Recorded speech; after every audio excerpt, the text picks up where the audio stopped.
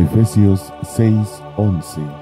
Vestíos de toda la armadura de Dios para que podáis estar firmes contra las acechanzas del diablo